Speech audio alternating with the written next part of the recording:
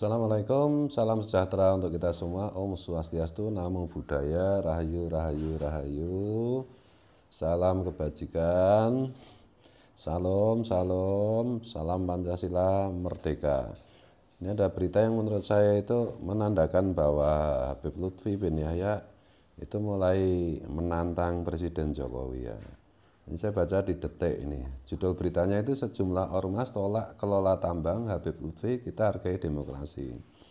Yang menarik dari berita ini adalah pernyataan uh, apa itu di berita ini ya Habib Lutfi menyerahkan keputusan soal izin pengelolaan tambang itu kepada pemerintah. Ia mengaku tak pernah diajak musyawarah. Kita nggak pernah diajak musyawarah Masalah ini saya tidak bisa mengatakan iya atau tidak. Kita mengikuti saja bagaimana jalannya pemerintah seandainya itu baik, dianggap baik, untuk itu ya silakan saja katanya. Jadi ini Habib Lutfi ditanyai mengenai uh, pendapatnya ketika sejumlah ormas tolak kelola tambang gitu ya. Jadi di sini bagaimana dengan menurut saya ya dengan licik gitu. Uh, Lutfi itu menyatakan menantang Presiden Jokowi dengan mengatakan seperti itu ya.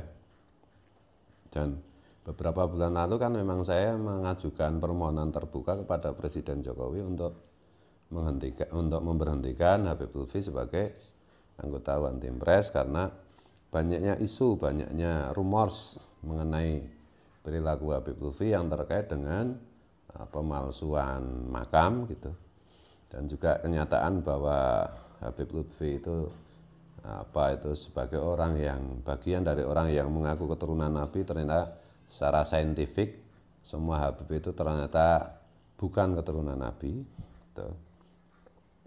dan soal pemak, isu pemalsuan makam itu di masif banget di uh, medsos gitu nah, untuk pertimbangan itu saya mengajukan permohonan terbuka kepada Presiden Jokowi untuk menghentikan untuk memberhentikan uh, Habib Lutfi se uh, sebagai One Team Press. Dan sekarang ini terbukti bahwa ketika ada arus yang berpotensi untuk menentang instruksi presiden mengenai apa itu konsensi konsesi uh, pertambangan untuk ormas keagamaan ada ada potensi untuk ada apa itu penolakan gitu maka Habib Lutfi itu menumpangi menurut saya.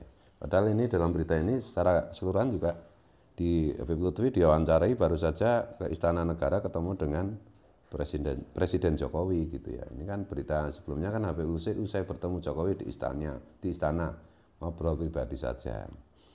Nah, apa deal-deal apa dia minta apa gitu. Dan perlu saya ingatkan juga bahwa kalau terkait dengan pilpres yang kemarin itu sebenarnya justru karena ke, ke, ke apa itu keberadaan Habib Lutfi itu menyebabkan menurut saya uh, potensi kemenangan Prabowo Gibran itu berkurang gitu. Seandainya di situ tidak ada Habib Lutfi bin Yahya, saya kira lebih dari 58 persen itu kemenangan Prabowo Gibran itu ya. Jadi itu aja yang perlu saya sampaikan. Ada keliru, ada salah, saya minta maaf. Wallahu wal muwaffiq ila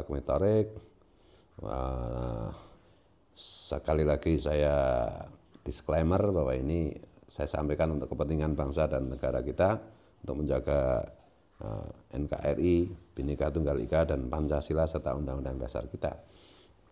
Itu aja. Salam Pancasila merdeka.